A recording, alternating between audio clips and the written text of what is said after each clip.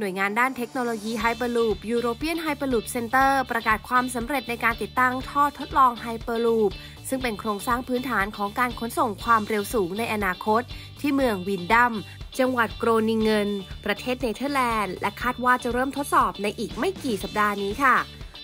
แลคตาซอยงาดำเข้ม ประโยชน์ทุกคำหอมงาดำอร่อยมาก โดยท่อทดลองไฮเปอร์ลูปที่เพิ่งติดตั้งเสร็จนี้มีความยาว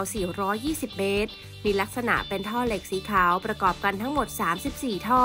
เส้นผ่านศูนย์กลางของท่อกว้าง 2.5 เมตร วางทอดยาวไปตามรางรถไฟทางตอนเหนือของเนเธอร์แลนด์ นอกจากนี้ยังมีส่วนท่อที่ต่อแยกออกเป็น 2 เลน ซึ่งเป็นการจำลองการสับเปลี่ยนเลนไฮเปอร์ลูปในอนาคตซึ่งข้างท่อก็จะมีปั๊มดูดอากาศเพื่อลดแรงดันภายใน ช่วยลดการลาก และช่วยให้แคปซูลสามารถเดินทางด้วยความเร็วสูงได้ ทั้งนี้โครงการ EHC ถือเป็นส่วนหนึ่งของโปรแกรม Hyperloop Development Program หรือว่า HDP ซึ่งเป็นความร่วมมือระหว่างภาครัฐและเอกชนมากกว่า 25 ราย เพื่อพัฒนาเทคโนโลยี Hyperloop ซึ่งจะทำการทดสอบระบบในอีกไม่กี่สัปดาห์ข้างหน้า แต่ก็ยังไม่มีการกำหนดวันอย่างเป็นทางการนะคะ โดยแนวคิดเรื่องไฮเปอร์ลูเป็นหลักการสร้างระบบขนส่ง ที่ให้ห้องโดยสารหรือว่าพอร์ตเคลื่อนตัวไปตามแนวท่อสุญญากาศ เพื่อลดแรงต้านอากาศและแรงเสียดทาน และตั้งเป้าเป็นระบบขนส่งมวลชนความเร็วสูง เช่นไฮเปอร์ลูของบริษัท Transport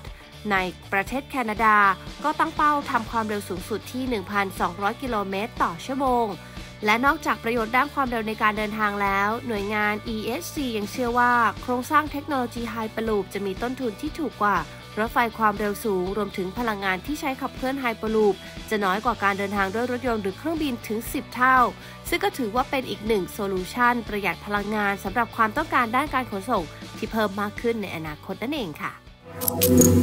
ขอบคุณที่รับชม TNN Tech Report นะคะ อย่าลืมกด subscribe กดกระดิ่ง กดไลค์ กดแชร์ในทุกช่องทางออนไลน์ของ TNN ช่อง 16 จะได้ไม่พลาดการรับชมรายการสด รวมถึงคลิปวิดีโอที่น่าสนใจอีกมากมายค่ะ